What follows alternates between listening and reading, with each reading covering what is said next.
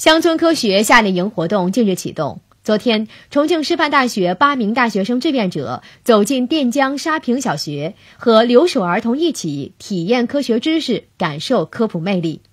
孩子们在志愿者的带领下，感受到化学给生活带来的便利，看到了肉眼看不见的微观生物。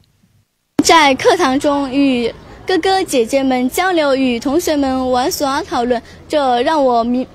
让我感到非常的开心快乐，明白在外面或者说在其他地方，他们不只是一个人在生活，或者只是在跟爷爷奶奶生活，然后他的父母在远方关心他们，然后社会各界的人也会在不同的地方来关心他们。